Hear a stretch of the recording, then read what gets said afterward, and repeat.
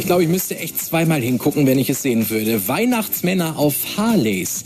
Die gurken hier aber echt bei uns in der Ecke rum und die machen das auch nicht einfach so. Da steckt ein Plan dahinter.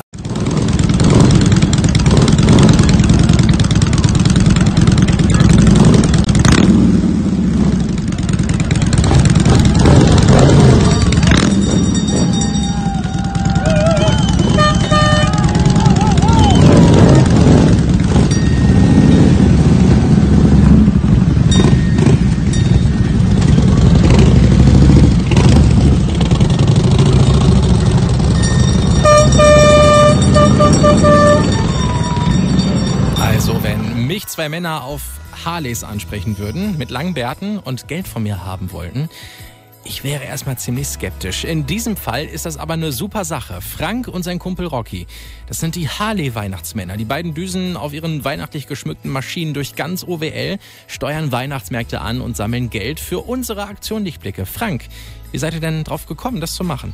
Durch Zufall entstanden. Ich habe mir mal einen Bart wachsen lassen irgendwann und dann vor Weihnachten geht's halt immer los von wegen Weihnachtsmann Nikolaus. Ja, irgendwann hatte ich mir dann halt mal so einen roten Dress gekauft und bin damit rumgefahren und die Leute haben so viel Spaß dran gehabt. Dann haben wir das dann nächstes Jahr äh, zusammen gemacht, Rocky und ich. Und seitdem machen wir das jetzt schon das vierte Jahr. Die letzten drei Jahre zusammen haben wir 10.700 Euro zusammengekriegt, die wir dann übergeben konnten an Lichtblicke. Ja, das ist ein ganz schöner Batzen. Es gibt Fotos von euch im Netz. Ihr sitzt da echt auf Harleys, die komplett weihnachtlich geschmückt sind. Du hast sogar einen Weihnachtsbaum hinten drauf. Wenn ihr durch die Gegend heizt, hält das alles oder geht da schon mal eine Weihnachtskugel flöten? Mm, Ja, es kann vielleicht mal passieren, aber eigentlich sind die äh, festgeklebt. Das sind halt diese Glaskugeln, die tue ich dann äh, nochmal mit Heißkleber befestigen, dass der Pin da nicht rausrutscht. Und äh, normal passiert nichts und heizen tun wir ja nicht.